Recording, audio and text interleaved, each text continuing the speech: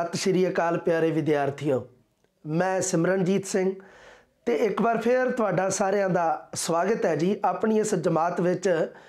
ਜਿਵੇਂ ਕਿ ਤੁਹਾਨੂੰ ਪਤਾ ਹੈ ਕਿ ਆਪਾਂ ਪਿਛਲੀ ਜਮਾਤ ਦੇ ਵਿੱਚ ਗੁਰਭਜਨ ਗਿੱਲ ਜੀ ਬਾਰੇ ਪੜ੍ਹ ਰਹੇ ਸੀ। ਗੁਰਭਜਨ ਗਿੱਲ ਜੀ ਦੀਆਂ ਦੋ ਕਵਿਤਾਵਾਂ ਆਪਾਂ ਪੜ੍ਹ ਚੁੱਕੇ ਹਾਂ। ਤਿੰਨ ਕਵਿਤਾਵਾਂ ਜੋ ਸਾਡੇ ਸਿਲੇਬਸ ਦੇ ਵਿੱਚ ਦੇ ਰੱਖੀਆਂ। ਉਹਦੇ ਵਿੱਚ ਇੱਕ ਹੋਰ ਕਵਿਤਾ ਹੈ, ਗਜ਼ਲ ਰੂਪ ਦੇ ਵਿੱਚ ਲਿਖੀ ਹੋਈ ਹੈ, ਜੇ ਤੁਰਿਆ ਜੇ ਤੁਰਿਆ ਗਜ਼ਲ ਦਾ ਇਸ ਦਾ ਸਿਰਲੇਖ ਹੈ, ਜੇ ਤੁਰਿਆ ਤੁਰਨ ਤੋਂ ਭਾਵ ਮਤਲਬ ਚੱਲਣਾ ਆਪਾਂ ਕਹਿ ਦਿੰਨੇ ਆ ਵੈਸੇ ਤਾਂ। ਪਰ ਇੱਥੇ ਤੁਰਨ ਤੋਂ ਭਾਵ ਹੈ ਕਿ ਜੇ ਤੂੰ ਆਪਣੇ ਜਿਹੜਾ ਉਹ ਸਚਾਈ ਵਾਲਾ ਰਾਹ ਕਹਿ ਲੋ ਇਮਾਨਦਾਰੀ ਵਾਲਾ ਜਿਹੜਾ ਰਾਹ ਜੇ ਤੂੰ ਆਪਣੇ ਜੀਵਨ ਦੇ ਵਿੱਚ ਸਚਾਈ, ਇਮਾਨਦਾਰੀ ਨੂੰ ਜੇ ਧਾਰਨ ਕੀਤਾ ਹੋਇਆ ਹੈ, ਤਾਂ ਉਸ ਤੋਂ ਬਾਅਦ ਕੀ ਮਤਲਬ ਇੱਕ ਸ਼ਰਤ ਰੱਖੀ ਹੈ ਕਵੀ ਨੇ? ਉਹਦੇ ਬਾਰੇ ਆਪਾਂ ਦੇਖਦੇ ਹਾਂ ਜੀ। ਸੋ ਸਭ ਤੋਂ ਪਹਿਲਾਂ ਪੂਰੀ ਗਜ਼ਲ ਦਾ ਮੈਂ ਵਾਚਨ ਕਰਦਾ ਤੁਸੀਂ ਧਿਆਨ ਨਾਲ ਸਭ ਤੋਂ ਪਹਿਲਾਂ ਸੁਣੋ ਕੀ ਕਹਿੰਦਾ ਕਵੀ ਗੁਰਭਜਨ ਗਿੱਲ। ਕਹਿੰਦਾ, ਜੇ ਤੁਰਿਆ ਆਪਣੇ ਤੋਂ ਪਾਰ ਜਾਵੀਂ, ਸਦੀਵੀ ਜਿੱਤ ਖਾਤਰ ਹਾਰ ਜਾਵੀਂ। ਜੁਰਾਬਾਂ ਵਾਂਗ ਲਾ ਲਈ ਰੁਤਬਿਆਂ ਨੂੰ, ਜਦੋਂ ਵੀ ਰੂਹ ਦੇ ਦਰਬਾਰ ਜਾਵੀਂ। ਜੇ ਤਰਨਾ ਜਾਣਦਾ ਨਹੀਂ, ਫਿਰ ਸੁਣ ਲੈ, ਨਦੀ ਦੇ ਨਾ ਕਦੇ ਵਿਚਕਾਰ ਜਾਵੀਂ। ਵਰੀ ਕਨਕੋਰ ਬੱਦਲ ਬਣ ਕੇ ਇਨਾ ਤੂੰ ਬਲਦੇ ਹਿਰਦਿਆਂ ਨੂੰ ਠਾਰ ਜਾਵੀਂ, ਕਦੇ ਵੀ ਜਿਸਮ ਨੂੰ ਮਿਲ ਕੇ ਨਾ ਪਰਤੀ, ਜਦੋਂ ਜਾਵੇਂ ਤਾਂ ਰੂਹ ਦੇ ਪਾਰ ਜਾਵੀਂ। ਸਮਾਂ ਜੇ ਜਾਗਦੇ ਮਿਲਦਾ ਨਹੀਂ ਤਾਂ ਕਦੇ ਸੁਪਨੇ 'ਚ ਗੇੜਾ ਮਾਰ ਜਾਵੀਂ। ਜੇ ਅਨਹਦ ਨਾਦ ਚਾਹੇ, ਰੂਹ 'ਚ ਗੂੰਜੇ, ਸਦੀਵੀ ਚੁੱਪ ਨੂੰ ਟੁਣਕਾਰ ਜਾਵੀਂ। ਸੋ ਇਹ ਗਜ਼ਲ ਹੈ ਜਿਹੜੀ ਜਿਸ ਦਾ ਸਿਰਲੇਖ ਹੈ ਜੀ, ਜੇ ਤੁਰਿਆ ਕਵੀ ਮਨੁੱਖ ਨੂੰ ਆਪਣੇ ਜੀਵਨ ਦੇ ਵਿੱਚ ਸਚਾਈ ਤੇ ਇਮਾਨਦਾਰੀ ਧਾਰਨ ਵਾਸਤੇ ਪ੍ਰੇਰਿਤ ਕਰ ਰਿਹਾ ਇਸ ਕਵਿਤਾ ਦੇ ਵਿੱਚ। ਇਸ ਗਜ਼ਲ ਦੇ ਵਿੱਚ ਸਚਾਈ ਤੇ ਇਮਾਨਦਾਰੀ ਵਾਲੇ ਰਸਤੇ ਤੇ ਜਦੋਂ ਮਨੁੱਖ ਚੱਲਦਾ ਹੈ, ਉਸ ਸਥਿਤੀ ਨੂੰ ਕਵੀ ਪ੍ਰਗਟ ਕਰ ਰਿਹਾ ਹੈ, ਸਚਾਈ ਇਮਾਨਦਾਰੀ ਨੂੰ ਜੀਵਨ ਦੇ ਵਿੱਚ ਧਾਰਨ ਕਰਨ ਵਾਸਤੇ ਕਹਿ ਰਿਹਾ ਹੈ ਤੇ ਅਹੰਕਾਰ ਦੀ ਜਿਹੜੀ ਅਵਸਥਾ ਹੈ, ਉਸ ਨੂੰ ਤਿਆਗਣ ਵਾਸਤੇ ਕਹਿ ਰਿਹਾ ਹੈ। ਅਹੰਕਾਰ ਦੀ ਅਵਸਥਾ ਦਾ ਕਵੀ ਕਹਿੰਦਾ ਹੈ ਕਿ ਸਾਨੂੰ ਤਿਆਗ ਕਰਨਾ ਚਾਹੀਦਾ ਹੈ। ਇਸ ਗਜ਼ਲ ਦੇ ਜਿਹੜੇ ਆਡ ਅੱਡ ਸ਼ੇਰ ਹੈ, ਸੋ ਸਭ ਤੋਂ ਪਹਿਲਾ ਜਿਹੜਾ ਹੈਗਾ ਕਿ ਜੇ ਤੁਰਿਆ ਆਪਣੇ ਤੋਂ ਪਾਰ ਜਾਵੀਂ, ਸਦੀਵੀ ਜਿੱਤ ਖਾਤਰ ਹਾਰ ਜਾਵੀਂ। ਕਵੀ ਕਹਿੰਦਾ ਕਿ ਜੇ ਤੁਰਿਆ ਆਪਣੇ ਤੋਂ ਪਾਰ ਜਾਵੀਂ।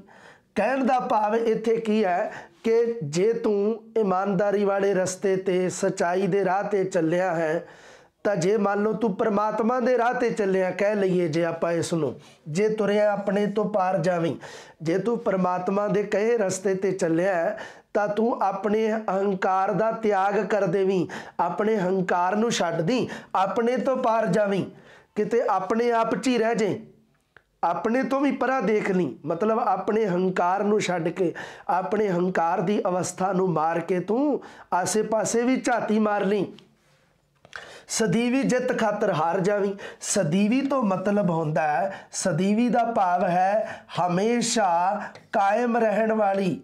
ਹਮੇਸ਼ਾ ਕਾਇਮ ਰਹਿਣ ਵਾਲੀ ਜੋ ਹੋਵੇ ਉਸ ਨੂੰ ਕਿਹਾ ਜਾਂਦਾ ਹੈ ਸਦੀਵੀ।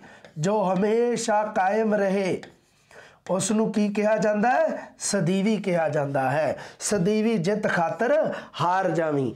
ਜੇ ਤੂੰ ਚਾਹਨਾ ਹੈ ਕਿ ਮੇਰੀ ਜਿੱਤ ਹੈ ਜਿਹੜੀ ਉਹ ਹਮੇਸ਼ਾ ਕਾਇਮ ਰਹੇ, ਮੇਰੀ ਜਿੱਤ ਹਮੇਸ਼ਾ ਕਾਇਮ ਰਹੇ, ਉਹਦੇ ਵਾਸਤੇ ਤੂੰ ਹਾਰ ਜਾਵੀਂ। ਇਸ ਦਾ ਭਾਵ ਕੀ ਹੈ? ਕਿ ਆਪਣੇ ਅੰਦਰ ਹੰਕਾਰ ਨਾ ਹੋਣ ਦੇਈ ਕਦੇ ਵੀ। ਜੇ ਹੰਕਾਰ ਆ ਗਿਆ, ਫੇਰ ਤੂੰ ਜਿੱਤ ਜਾਏਗਾ, ਪਰ ਉਹ ਜਿੱਤ ਸਦੀਵੀ ਨਹੀਂ ਹੋਊਗੀ। ਇਸ ਕਰਕੇ ਸਦੀਵੀ ਜਿੱਤ ਖਾਤਰ ਹਾਰ ਜਾਵੀਂ। ਜੇ ਤੂੰ ਚਾਹਨਾ ਹਮੇਸ਼ਾ ਮੇਰੀ ਜਿੱਤ ਰਹੇ, ਸਦੀਵੀ ਜਿੱਤ ਰਹੇ, ਹਮੇਸ਼ਾ ਕਾਇਮ ਰਹੇ ਮੇਰੀ ਜਿੱਤ, ਤਾਂ ਉਹਦੇ ਵਾਸਤੇ ਆਪਣੇ ਹੰਕਾਰ ਦਾ ਤਿਆਗ ਕਰ ਦੇਵੀਂ। ਜੁਰਾਬਾ ਵਾਂਗ ਲਾ ਲਈ ਰੁਤਬਿਆਂ ਨੂੰ, ਜਦੋਂ ਵੀ ਰੂਹ ਦੇ ਦਰਬਾਰ ਜਾਵੀਂ।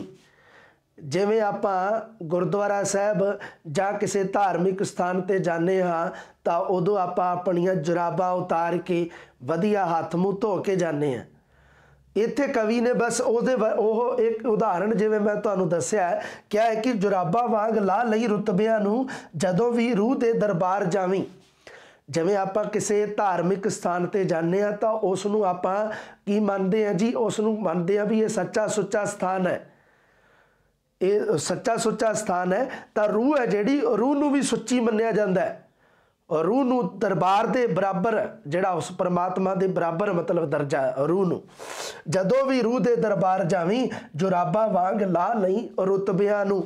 ਰੁਤਬੇ ਤੋਂ ਭਾਵ ਹੁੰਦਾ ਹੈ, ਜਿਹੜੀ ਕੋਈ ਤੈਨੂੰ ਪਦਵੀ ਮਿਲੀ ਹੋਈ ਹੈ, ਜਿਹੜੀ ਕੋਈ ਤੈਨੂੰ ਉਪਾਧੀ ਮਿਲੀ ਹੋਈ ਹੈ ਜਿਹੜੀ ਤੈਨੂੰ ਕੋਈ ਸਮਾਜ ਦੇ ਵਿੱਚ ਕੋਈ ਪਦਵੀ ਉਪਾਧੀ ਹੈ, ਜਿਹੜੀ ਉਸ ਨੂੰ ਇੱਕ ਵਾਰ ਤਿਆਗ ਦੇਵੀਂ, ਇੱਥੇ ਵੀ ਕਵੀ ਨੇ ਅਹੰਕਾਰ ਨੂੰ ਤਿਆਗਣ ਦੀ ਗੱਲ ਹੀ ਕੀਤੀ ਹੈ।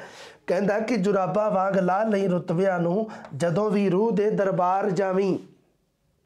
ਜਦੇ ਵੀ ਤੂੰ ਆਪਣੀ ਰੂਹ ਦੇ, ਕਿਉਂਕਿ ਰੂਹ ਨੂੰ ਸੁੱਚੀ ਮੰਨਿਆ ਜਾਂਦਾ ਹੈ ਜਦੋਂ ਵੀ ਰੂਹ ਦੇ ਦਰਬਾਰ ਜਾਵੇਂ, ਆਪਣੇ ਰੁਤਬਿਆਂ ਨੂੰ ਉਤਾਰ ਕੇ, ਆਪਣੇ ਹੰਕਾਰ ਨੂੰ ਛੱਡ ਕੇ ਜਾਵੀਂ। ਜੇ ਤਰਨਾ ਜਾਣਦਾ ਨਹੀਂ, ਫਿਰ ਸੁਣ ਲੈ, ਨਦੀ ਦੇ ਨਾ ਕਦੇ ਵਿਚਕਾਰ ਜਾਵੀਂ। ਹੁਣ ਆਪਾਂ ਨੂੰ ਇਹਦਾ ਸ਼ਾਬਦਿਕ ਅਰਥ ਜੇ ਆਪਾਂ ਕਰਨਾ ਹੋਵੇ ਤਾਂ ਇਸ ਤਰ੍ਹਾਂ ਕਰਾਂਗੇ ਕਿ ਜੇ ਤੂੰ ਤਰਨਾ ਨਹੀਂ ਜਾਣਦਾ, ਤਾਂ ਫਿਰ ਤੂੰ ਕਦੇ ਵੀ ਨਦੀ ਦੇ ਵਿਚਕਾਰ ਨਹੀਂ ਜਾਣਾ ਕਿਉਂਕਿ ਡੁੱਬ ਸਕਦਾ ਹੈ। ਬਿਲਕੁਲ ਉਵੇਂ ਹੀ, ਜੇ ਦਾ ਭਾਵ ਅਰਥ ਕਰੀਏ, ਜੇ ਇਹਦਾ ਮਤਲਬ ਭਾਵ ਅਰਥ ਆਪਾਂ ਉਹਦੇ ਤੇ ਗੱਲ ਕਰੀਏ, ਤਾਂ ਕਵੀ ਕੀ ਕਹਿਣਾ ਚਾਹੁੰਦਾ? ਕਵੀ ਕਹਿੰਦਾ ਹੈ ਕਿ ਜੇ ਤੂੰ ਉਸ ਪ੍ਰਮਾਤਮਾ ਦੇ ਦੱਸੇ ਹੋਏ ਰਾਹ ਤੇ ਇਮਾਨਦਾਰੀ ਤੇ ਸਚਾਈ ਤੇ ਨਹੀਂ ਚੱਲ ਸਕਦਾ, ਜੇ ਤੂੰ ਆਪਣਾ ਹੰਕਾਰ ਨਹੀਂ ਤਿਆਗ ਸਕਦਾ, ਤਾਂ ਉਸ ਰਾਹ ਤੇ ਨਾ ਚੱਲੀ ਕਦੇ ਵੀ। ਵੀ ਜੇ ਤੂੰ ਹੰਕਾਰ ਹੀ ਨਹੀਂ ਛੱਡ ਸਕਦਾ, ਤਾਂ ਜਿਹੜਾ ਮਤਲਬ ਜੇ ਤੁਰਿਆ ਵਾਲਾ ਰਾਹ ਦੱਸਿਆ ਨਾ ਕਵੀ ਨੇ, ਉਸ ਰਾਹ ਤੇ ਨਾ ਕਦੇ ਵੀ ਚੱਲੀ। ਕਿਉਂਕਿ ਫਿਰ ਤੂੰ ਡੁੱਬਣਾ ਹੀ ਡੁੱਬਣਾ ਹੈ। ਤੇਰੇ ਤੋਂ ਤਰਿਆ ਨਹੀਂ ਜਾਣਾ। ਹੰਕਾਰ ਨੂੰ ਲੈ ਕੇ ਨਹੀਂ ਤਰਿਆ ਜਾ ਸਕਦਾ। ਜੇ ਤਰਨਾ ਜਾਣਦਾ ਨਹੀਂ, ਫਿਰ ਸੁਣ ਲੈ, ਨਦੀ ਦੇ ਨਾ ਕਦੇ ਵਿਚਕਾਰ ਜਾਵੀਂ। ਵਰੀ ਕਨਕੋਰ ਬੱਦਲ ਬਣ ਕੇ ਇਹਨਾਂ ਤੂੰ ਬਲਦੇ ਹਿਰਦਿਆਂ ਨੂੰ ਠਾਰ ਜਾਵੀਂ। ਜਿਵੇਂ ਬੱਦਲ ਜਦੋਂ ਮੀਂਹ ਵਰਾ ਦਿੰਦੇ ਆ ਨਾ, ਤਾਂ ਧਰਤੀ ਹੈ ਜਿਹੜੀ ਉਹ ਠਾਰ ਠੰਡੀ ਠਾਰ ਹੋ ਜਾਂਦੀ ਹੈ ਧਰਤੀ ਤੇ ਸ਼ੀਤਲਤਾ ਹੋ ਜਾਂਦੀ ਹੈ।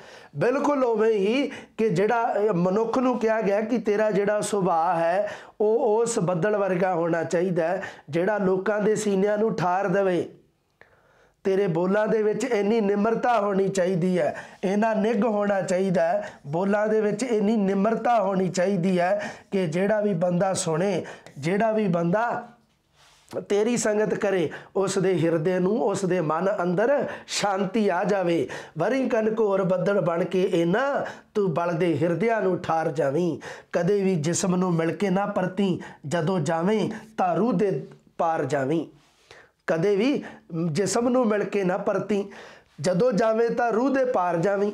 ਇਹਦਾ, ਇਹ, ਇਸ, ਇਹ ਜਿਹੜਾ ਹੈ, ਇਹ ਬੰਦ ਹੈ, ਇਹ, ਇਹਦੇ ਵਿੱਚ ਕਵੀ ਇਹ ਕਹਿਣਾ ਚਾਹੁੰਦਾ ਹੈ ਕਿ ਤੂੰ ਇਸ ਤਰ੍ਹਾਂ ਨਾ ਹੋਵੇ ਕਿ ਸਰੀਰਕ ਸੁੰਦਰਤਾ ਨੂੰ ਹੀ ਦੇਖਦਾ ਰਹਿ ਜੇ ਸਰੀਰਕ ਸੁੰਦਰਤਾ ਜਿਹੜੀ ਉਹ ਹਮੇਸ਼ਾ ਕਾਇਮ ਨਹੀਂ ਰਹਿੰਦੀ। ਜਿਹੜੀ ਸਰੀਰਕ ਸੁੰਦਰਤਾ ਹੈ, ਜਿਹੜਾ ਸਰੀਰ ਦਾ ਸੋਹਣਾਪਨ ਹੈ, ਪਰ ਜਿਹੜੀ ਆਤਮਾ ਹੈ, ਆਤਮਾ ਹਮੇਸ਼ਾ ਸੁੱਚੀ, ਹਮੇਸ਼ਾ ਸੁੰਦਰ ਰਹਿੰਦੀ ਹੈ। ਇਸ ਕਰਕੇ ਜਦੋਂ ਵੀ ਤੇਰਾ ਕਿਸੇ ਨਾਲ ਮੇਲ ਹੋਵੇ ਤਾਂ ਉਹ ਤੇਰਾ ਰੂਹਾਂ ਵਾਲਾ ਮੇਲ ਹੋਣਾ ਚਾਹੀਦਾ ਜਦੋਂ ਜਾਵੇਂ ਤਾਂ ਰੂਹ ਦੇ ਪਾਰ ਜਾਵੀਂ, ਕਦੇ ਵੀ ਜਿਸਮ ਨੂੰ ਮਿਲ ਕੇ ਨਾ ਪਰਤੀ। ਕਿਉਂਕਿ ਜਿਸਮ ਹੈ ਜਿਹੜਾ ਹੈ ਹਮੇਸ਼ਾ ਇਸ ਦੀ ਸੁੰਦਰਤਾ ਕਾਇਮ ਨਹੀਂ ਰਹਿਣੀ। ਇਹਨੇ ਹਮੇਸ਼ਾ ਸਦੀਵੀ ਨਹੀਂ ਰਹਿਣਾ। ਸਰੀਰ ਤਾਂ ਮਰ ਜਾਂਦਾ ਹੈ, ਸਰੀਰ ਤਾਂ ਮਿੱਟੀ ਦੇ ਵਿੱਚ ਮਿੱਟੀ ਹੋ ਜਾਂਦਾ ਹੈ। ਪਰ ਰੂਹ ਨਹੀਂ ਕਦੇ ਵੀ ਮਰਦੀ ਹੁੰਦੀ, ਆਤਮਾ ਨਹੀਂ ਮਰਦੀ ਹੁੰਦੀ। ਇਸ ਕਰਕੇ ਤੇਰਾ ਪਿਆਰ ਹੈ ਜਿਹੜਾ, ਉਹ ਆਤਮਾ ਦੇ ਨਾਲ ਹੋਣਾ ਚਾਹੀਦਾ ਸਮਾਂ ਜੇ ਜਾਗਦੇ ਮਿਲਦਾ ਨਹੀਂ ਤਾਂ ਕਦੇ ਸੁਪਨੇ ਚ ਗੇੜਾ ਮਾਰ ਜਾਵੀਂ। ਆਪਣੇ ਮਿੱਤਰ ਪਿਆਰੇ ਨੂੰ ਕਿਹਾ ਹੈ ਕਿ ਜੇ ਤੇਰਾ ਜਾਗਦੇ ਆ, ਸਮਾਂ ਜੇ ਨਹੀਂ ਮਿਲਦਾ ਮਿਲਣ ਦਾ ਮੈਨੂੰ ਮਿਲਣ ਦਾ ਜੇ ਸਮਾਂ ਨਹੀਂ ਮਿਲਦਾ, ਤਾਂ ਤੂੰ ਕਦੇ ਸੁਪਨੇ ਦੇ ਵਿੱਚ ਆ ਜਾਵੀਂ। ਜੇ ਅਨਹਦ ਨਾਦ ਚਾਹੇ ਰੂਚ ਗੁੰਜੇ, ਸਦੀਵੀ ਚੁੱਪ ਨੂੰ ਟੁਣਕਾਰ ਜਾਵੀਂ। ਅਨਹਦ ਨਾਦ ਤੋਂ ਭਾਵ ਹੁੰਦਾ ਹੈ, ਨਾਦ ਤੋਂ ਭਾਵ ਹੁੰਦਾ ਹੈ ਆਵਾਜ਼। ਹੁਣ ਮੈਂ ਇਹਦਾ ਅਨਹਦ ਨਾਦ ਪੂਰੇ ਦਾ ਅਰਥ ਲਿਖ ਦਿੰਨਾ ਇੱਥੇ। ਅਨਹਦ ਨਾਦ ਤੋਂ ਭਾਵ ਹੁੰਦਾ ਹੈ, ਹਮੇਸ਼ਾ ਕਾਇਮ ਰਹਿਣ ਵਾਲੀ ਆਵਾਜ਼, ਹਮੇਸ਼ਾ ਕਾਇਮ ਰਹਿਣ ਵਾਲਾ ਸੰਗੀਤ, ਹਮੇਸ਼ਾ ਕਾਇਮ ਰਹਿਣ ਵਾਲਾ ਸੰਗੀਤ। ਇਹਦਾ ਮੈਂ ਅਰਥ ਲਿਖਤਾ ਇੱਥੇ, ਤੁਸੀਂ ਯਾਦ ਰੱਖਣਾ ਹਮੇਸ਼ਾ ਕਾਇਮ ਰਹਿਣ ਵਾਲਾ ਸੰਗੀਤ। ਜਿਹੜਾ ਮਨੁੱਖ ਪਰਮਾਤਮਾ ਦੇ ਦੱਸੇ ਰਾਹ ਤੇ ਚੱਲਦਾ ਹੈ ਤਾਂ ਉਹਦੇ ਕੀ ਹੈ ਕਿ ਇੱਕ ਕਿਹਾ ਜਾਂਦਾ ਹੈ ਅਧਿਆਤਮਿਕਤਾ ਦੇ ਵਿੱਚ ਅਨਹਦ ਨਾਦ ਸ਼ਬਦ ਦੀ ਵਰਤੋਂ ਅਧਿਆਤਮਿਕਤਾ ਦੇ ਵਿੱਚ ਕੀਤੀ ਜਾਂਦੀ ਹੈ।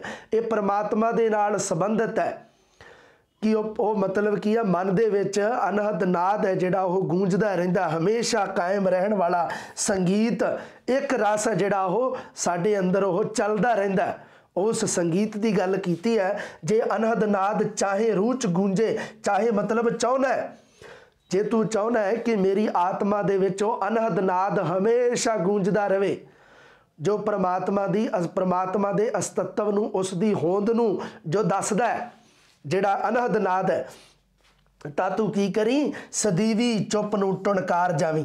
ਟੁਣਕਾਰ ਤੋਂ ਭਾਵ ਹੁੰਦਾ ਜਗਾ ਦੇਣਾ ਜਗਾ ਦੇਣਾ ਜਗਾ ਦੇਣਾ, ਹਿਲਾ ਕੇ ਕਿਸੇ ਨੂੰ ਜਗਾ ਦੇਣਾ, ਸੁੱਤੇ ਪਏ ਨੂੰ ਜਿਵੇਂ ਉਦਾਹਰਣ ਵਾਸਤੇ। ਉਸ ਨੂੰ ਕਿਹਾ ਜਾਂਦਾ ਟੁਣਕਾਰ ਜਾਵੀਂ ਸਦੀਵੀ ਚੁੱਪ ਨੂੰ ਟੁਣਕਾਰ ਜਾਵੀਂ ਜਿਹੜੀ ਤੇਰੀ ਹਮੇਸ਼ਾ ਜੋ ਜੋ ਚੁੱਪ ਹੈ ਹਮੇਸ਼ਾ ਵਾਲੀ ਚੁੱਪ ਹੈ ਜਿਹੜੀ ਉਸ ਨੂੰ ਜਗਾ ਦੇਵੀਂ। ਕਿਉਂਕਿ ਜਿਹੜੀ ਅ, ਜਿਹੜਾ ਅਨਹਦ ਨਾਦ ਵਾਲਾ ਰਸਤਾ ਹੈ ਉਹ ਚੁੱਪ ਦੇ ਵਿੱਚੋਂ ਦੀ ਹੋ ਕੇ ਗੁਜ਼ਰਦਾ ਹੈ। ਉਹਦਾ ਜਿਹੜਾ ਮੁੱਖ ਜਿਹੜਾ ਹੈਗਾ ਹੈ, ਉਹ ਹੈਗਾ ਚੁੱਪ। ਇਸ ਕਰਕੇ ਚੁੱਪ ਸ਼ਬਦ ਆਇਆ, ਸਦੀਵੀ ਚੁੱਪ ਨੂੰ ਟੁਣਕਾਰ ਜਾਵੀਂ, ਜੋ ਹਮੇਸ਼ਾ ਰਹਿਣ ਵਾਲੀ ਚੁੱਪ ਹੈ ਜਿਹੜੀ ਉਸ ਨੂੰ ਜਗਾ ਦੇਵੀਂ। ਸੋ ਇਹ ਹੈ ਜਿਹੜਾ ਇਹ ਆਪਣੇ ਇਸ ਦੇ ਪੂਰੇ ਭਾਵ ਅਰਥ ਆਪਾਂ ਪੂਰੇ ਕਰ ਚੁੱਕੇ ਹਾਂ ਜੀ। ਇੱਕ ਵਾਰ ਇਸ ਸਾਰੀ ਗਜ਼ਲ ਨੂੰ ਮੈਂ ਫੇਰ ਦੁਹਰਾ ਦਿੰਨਾ ਜੇ ਤੁਰਿਆ ਆਪਣੇ ਤੋਂ ਪਾਰ ਜਾਵੀਂ, ਸਦੀਵੀ ਜਿੱਤ ਖਾਤਰ ਹਾਰ ਜਾਵੀਂ, ਜੁਰਾਬਾਂ ਵਾਂਗ ਲਾ ਲਈ ਰੁਤਬਿਆਂ ਨੂੰ, ਜਦੋਂ ਵੀ ਰੂਹ ਦੇ ਦਰਬਾਰ ਜਾਵੀਂ, ਜੇ ਤਰਨਾ ਜਾਣਦਾ ਨਹੀਂ, ਫੇਰ ਸੁਣ ਲੈ, ਨਦੀ ਦੇ ਨਾ ਕਦੇ ਵਿਚਕਾਰ ਜਾਵੀਂ। ਵਰੀ ਕਨਕੋਰ ਬੱਦਲ ਬਣ ਕੇ ਇਹਨਾਂ ਤੂੰ ਬਲਦੇ ਹਿਰਦਿਆਂ ਨੂੰ ਠਾਰ ਜਾਵੀਂ। ਕਦੇ ਵੀ ਜਿਸਮ ਨੂੰ ਮਿਲ ਕੇ ਨਾ ਪਰਤੀ। ਜਦੋਂ ਜਾਵੇਂ ਤਾਂ ਰੂਹ ਦੇ ਪਾਰ ਜਾਵੀਂ। ਸਮਾਂ ਜੇ ਜਾਗਦੇ ਮਿਲਦਾ ਨਹੀਂ ਤਾਂ ਕਦੇ ਸੁਪਨੇ 'ਚ ਗੇੜਾ ਮਾਰ ਜਾਵੀਂ। ਜੇ ਅਨਹਦ ਨਾਦ ਚਾਹੇ, ਰੂਹ 'ਚ ਗੂੰਜੇ, ਸਦੀਵੀ ਚੁੱਪ ਨੂੰ ਟੁਣਕਾਰ ਜਾਵੀਂ। ਸੋ ਪਿਆਰੇ ਵਿਦਿਆਰਥੀਓ ਗੁਰਭਜਨ ਗਿੱਲ ਜੀ ਵਾਲਾ ਜਿਹੜਾ ਪਾਠ ਹੈ ਇਹਨਾਂ ਦੀਆਂ ਤਿੰਨ ਜੋ ਰਚਨਾਵਾਂ ਹੈ, ਆਪਣੀ ਪਾਠ ਪੁਸਤਕ ਦੇ ਵਿੱਚ ਦਿੱਤੀਆਂ ਹੋਈਆਂ ਇਹ ਆਪਣੀਆਂ ਸਮਾਪਤ ਹੋ ਚੁੱਕੀਆਂ ਜੀ। ਅਗਲਾ ਪਾਠ ਲੈ ਕੇ ਜਲਦੀ ਤੁਹਾਡੇ ਰੂਬਰੂ ਹੁੰਨਾ ਜੀ। ਸਤਿ ਸ਼੍ਰੀ ਅਕਾਲ।